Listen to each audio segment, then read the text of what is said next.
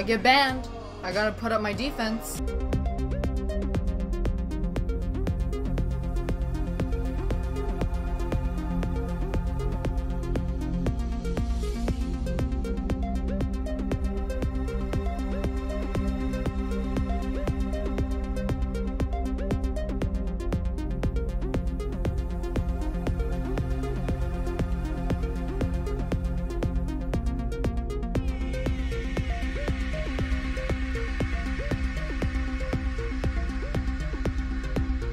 So, um, guys, in today's news, um, you know, Ninja leaves Twitch, and Twitch responds to uh, Ninja leaving Twitch by allowing breastfeeding on Twitch. That's a great counterplay. That that was a really great decision, and that's totally gonna, you know, save the platform now. Um, so regarding the breastfeeding, um, dude, that shit is retarded. like I don't have anything against breastfeeding, and, and in public I don't give a shit. I, I understand why would people be like you know annoyed by it. I can totally see why, but like I don't give a shit.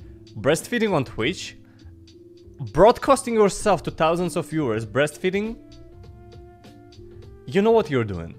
You're, you're not doing it because you want to breastfeed your baby. You're exploiting your kid for for perverted views.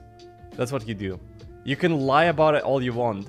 If you actually wanted to feed your kid and uh, you know Twitch was not letting you because Twitch is your full-time job, you know what you do? Yeah, you, you, you take you, you take a picture and you censor yourself. Uh, you you switch a scene. You do anything. Yeah, saying that it's a victory for Twitch. Yeah, it's a victory. You know, there's nothing sexual about you know breastfeeding, but like broadcasting yourself on Twitch, breastfeeding. Or, seriously? S- fucking seriously? Is this what you want?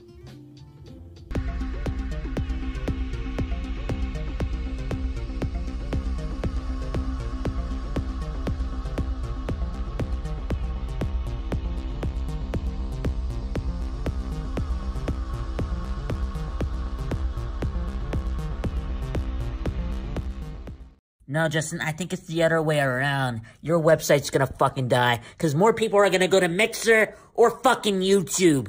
Get your shit together on Twitch, motherfucker!